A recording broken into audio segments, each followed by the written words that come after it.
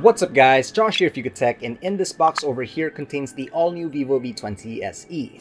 Now you guys may have seen our other videos on the rest of the V20 series, but if you haven't, go on and check them out over here. Anyways, let's not waste any more time, come along and let's check this device out together. So opening the box, the first thing that you'll be greeted with is the smaller packet containing some of the standard stuff including your clear jelly case, the SIM ejector tool, and of course your user manual and paperwork. Right underneath that is the V20 SE itself. Let's just put that aside for now. And finally, right underneath we have your power brick, Type-C cable, and a pair of earphones, which I really appreciate Vivo for including for these phones. Now that we got the nitty gritty out of the way, let's go ahead and take a tour of the phone itself. Now from all the three V20 variants, despite the similar layout, the Vivo V20 SE is going to stick out the most when it comes to looks. Our unit in particular comes in the Gravity Black color variant, which looks quite executive, but they do also have a lighter color called Oxygen Blue if you fancy that more. The back employs a glossy design, along with this gradient mirror-like finish, which is obviously going to be quite a fingerprint magnet, so thank god for that complimentary case.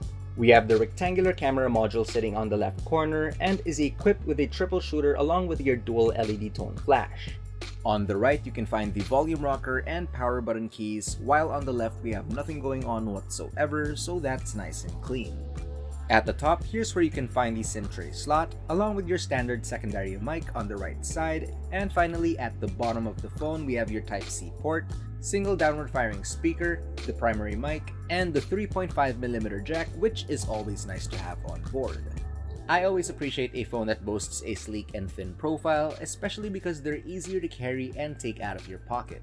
Now the V20 SE is going to be the most affordable one from the three, but so far I'm pretty impressed with it and I'm confident performance is going to be just as good. So what do you guys think of the Vivo V20 SE? Let us know in the comment section down below and if you enjoyed this video, don't forget to leave a like, subscribe, hit that bell icon, and be sure to visit yugatech.com for the latest tech news and reviews. Again, this has been Josh, stay safe, and I will see you in the next video.